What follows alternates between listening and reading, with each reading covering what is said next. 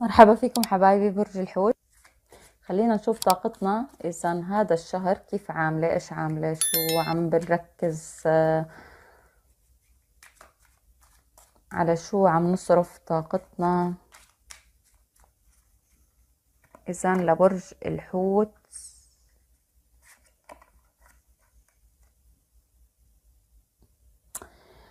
هون عم بشوفها آه، نهاية يمكن آه، عم تصرف آه، يعني طاقتك لإنهاء شيء قديم في حياتك أو إنهاء علاقة ثلاثية. عم تصرف عليها طاقة لحتى إنك تنهيها. عم بشوفها على انتصار وعلى نجاح. إن شاء الله يا رب. خلينا نشوف بشكل عام إذا للحوت. في بداية الشهر آه، رح تكون في عندك آه، شوية أوهام يمكن أو آه، عم تتعرض لأكاذيب معينة لنصب معين. أنت عم تنهي هاي العلاقة عم تنهي هاي الطاقة. ما عم يعني بتكون موجودة في هاي الشهر. أنا عم بقول عم تنهيها. فعم بشوف بالعكس من بعد ما كنت محبوس داخل هاي ال ال ال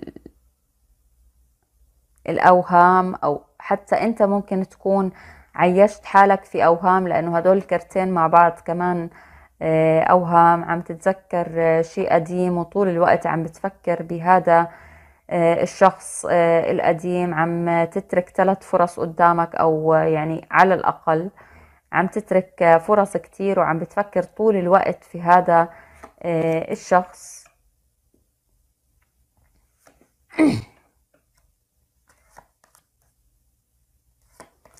شايفة سفر حلو كتير ل آه، لبرج الحوت.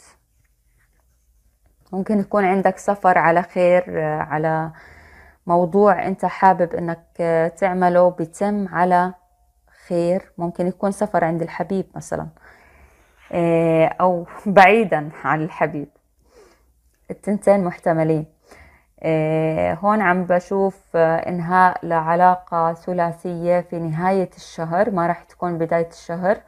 عم بشوفهم في آخر ممكن أسبوع لأنه ورقتين يعني علاقة ثلاثية بجنب بعض. الطاقات نسيت أحكيها بس نحكي إنه الطاقات عم بتكون هوائية بشدة. عم بتكون مائية عم بتكون ترابية. عم بشوف عندك محكمة أوراق قانونية ممكن مساءلات ممكن شغلة هيك طارئة دخلك في متاهات مؤقتة يا برج الحوت. أو تدخلك في مكان أنت ما كنت حابب إنك تدخله أو تتطرق له. آه، ممكن شايفة في نصب آه، يعني عم عم بنتصب عليك أو عم بتخلص هاي الطاقة. إما إذا كانت موجودة من الأساس أنت عم بتخلصها وإذا ما كانت موجودة فهي موجودة في بداية هاي الشهر. آه، رح تضلها يعني مستمرة. لكن سرعان أنت ما رح تكشف الأمور وتظبط الأوضاع وتسترجع حقك. ولكن بعد صبر يعني بعد خلينا نقول شهر بعد آه، آه، فترة لأنه عم بتكون شوي آه، بطيئة المدة. عم بتكون صارم كتير وخاصة في العمل مع شخص هوائي ممكن يكون. بشوف كمان هذا الكرت كرت ممكن يكون حمل أو ولادة. للي عندهم حمل من الأساس و حمل للي ما عندهم حمل. فممكن يكون بنت ممكن يكون بنت. حمل في بنت هذا الشهر. طاقة الطاقة مفتوحة على شهر واحد ولكن بتمط الطاقة ممكن تمتد أكتر آه، شوي. شايفة في رجوع لقديم لشخص قديم. كان في بيناتكم شكوك كان في بيناتكم آه، نزاعات أو أشخاص آه، أو علاقة ثلاثية. بعد ما رح تنتهي رح يكون في سعادة معينة تعيشها آه، مع الشريك. رح تبعدوا نوعا ما عن المحيط كله. رح تحاولوا إنكم تبعدوا بشتى الطرق. خلينا نحكي. فشايفة قدامك طريق شوي صعبة ولكن في بالنهاية في نتيجة وفي حصاد. أكتر إشي بحذرك بهذا الشهر من النصب زي الشهر الماضي لأنه الحوثيين عم ينتصب عليهم من ناحية العاطفة ومن ناحية المال عم بيكونوا مستهدفين. كلا إنه طيبين شوي بس أنا ما بشوفهم يعني اللي هو بشوفهم برضو أذكياء يعني بنفس الوقت ما بينضحك عليهم بس الظروف بتوقعهم أحيانا آه، فبقول لك هذا الموضوع النصب أو كذا راح يدخلك في شوي مساءلات قانونية أو في محاكم أو في موضوع من هاي المواضيع ولكن راح يتم على خير. بشوف السفر في كرتين يعني السفر آه، فرصة كبيرة للي حابين إنهم يسافروا هذا بشكل عام. شايفة انتصار على آه، شخص في العمل خاصة إذا كانت طاقته نارية. ومائية كمان. خلينا نشوف لمحة آه عن الوضع العاطفي. عم بشوفك ماسك حالك بالزور يا حوت. في بقلبك حب كبير كبير كبير. ممكن القراءة تكون عكسية لأنه عاطفية آه وعامة. آه في بقلبك حب كبير كبير للشريك. الشريك برضه نفس الموضوع ولكن التنين ماسكين حالكم بالزور. عم تعملوا كنترول على المشاعر بصعوبة. ما عم بيكون سهل الموضوع عليكم.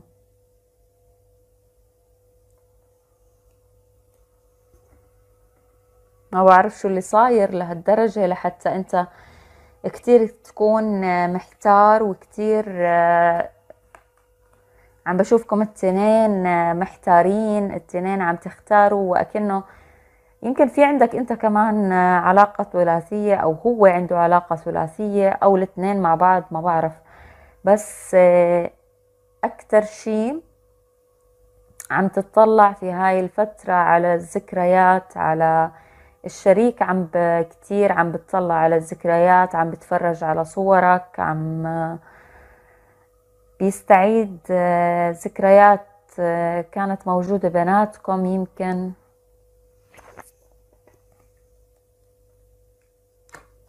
ولكن شايفة أنا في آه، انتصار على العلاقة الثلاثية شايفة في التقاء ما بين القلب والعقل بنفس الوقت يعني من بعد هون ما كان عندك صراع ما بين عقلك وقلبك هون لا في آه، يعني في اتحاد التنين مع بعض رح تاخد قرار آه، بإنه يعني الأمور تتظبط بيناتكم. آه، أو الشريك اللي عم بيفكر بهاي الطريقة أو أنتوا الاثنين مع بعض رح يكون اذا في نهاية للحيرة رح يكون في نهاية لطرف ثالث موجود ولا الحيرة والصراع اللي كان موجود.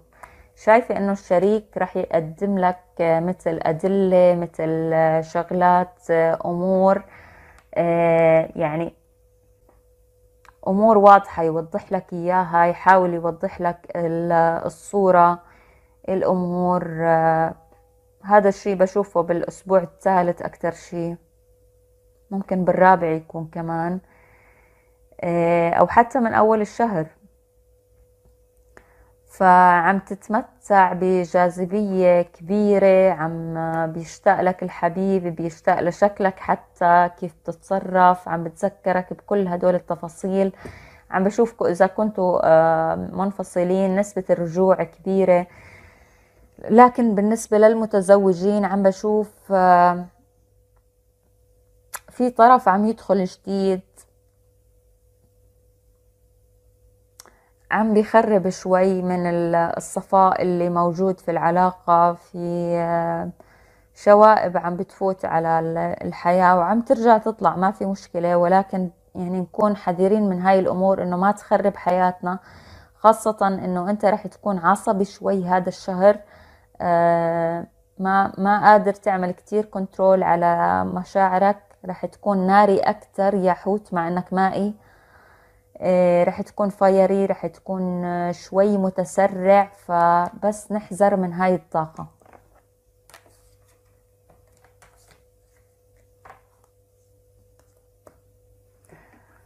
آه نشوف شو التحذير هذا الشهر لبرج الحوت.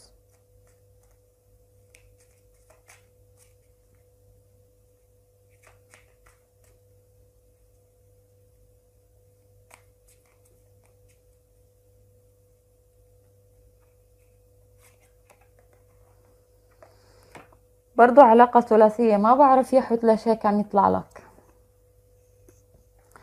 علاقة ثلاثية عم تجول في, ال في, ال في الأفق. قلنا في انتهاء للعلاقة الثلاثية ولكن ممكن تمتد لأنه هذا التحذير يعني عم بشوف رقم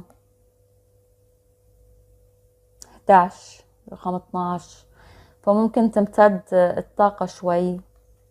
لهذا الطرف الثالث. شوف message من الحبيب إذا كان بعيد أو قريب أو آه، كلمة منه message معينة ما قادر يقولها.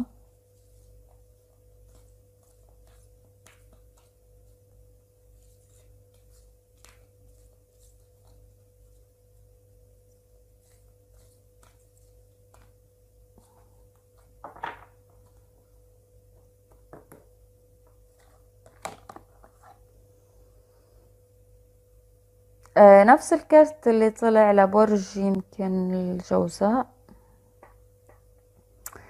آه، بيقول لك إنه هو كوعد أو وعد هو إنه رح يحقق لك الأمان اللي أنت بتحلم فيه رح يحقق لك آه، الجو اللي أنت بتحلم فيه في العلاقة.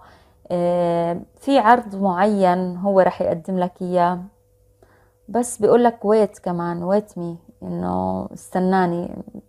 في في أمر هو مخبيه لإلك في أمر هو آه بده يوضح لك إياه وكأنه.